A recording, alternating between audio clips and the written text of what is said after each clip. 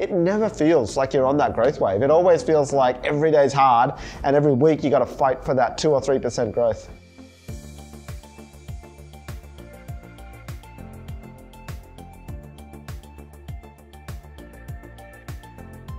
Airtasker is a marketplace for local services.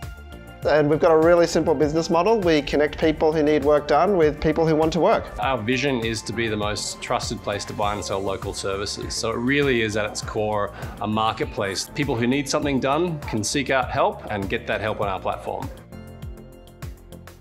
So it started out just myself and John, my co-founder. Over time, we built the team, um, and you know, for about two years there, we were just a small team of six people, throwing a lot of mud at the wall to try and figure out what would stick. Everything was a massive challenge for us in the early days. There are days where you come into the office and you say, you know what, why am I doing this? In a lot of ways, it was like we were going through our awkward early teenage years. We were trying to figure out how to be a bigger company, how to grow internationally and launch new markets. Pretty rapidly over those early years, the company was trying to find scale without really thinking too much about the technology that underpins it. We're really, really growing here. We're a little bit without direction in the beginning because we didn't have the metrics to understand how things were going. The server racks that we had on York Street, you know, weren't going to be something that we could scale into the UK, um, into the US, and even um, across all of Australia. The engineering team was very much like, if we want to scale, we need to move away from having server racks locally um, and move into the cloud.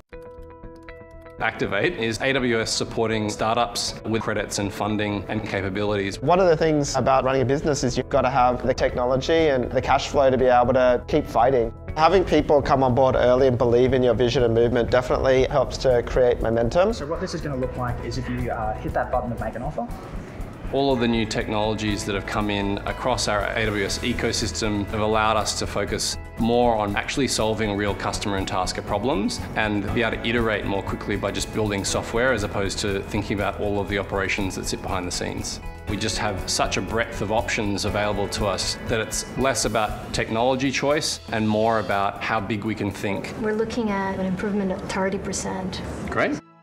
Now we've been going for a little over 10 years. We're doing just over 250 million in gross sales across Australia and we're scaling into the UK and into the US as well. We're already seeing huge improvements in our traffic and all of our metrics that we're measuring. So scaling that is definitely like super exciting. I think it's onwards and upwards. Airtasker's mission is really to empower people to realise the value of their skills, sharing that more globally. That's a pretty exciting future to work towards. In 10 years' time, I have a vision to make Airtasker the world's most trusted place to buy and sell local services. If we can pull off that mission, it's going to be a pretty cool future.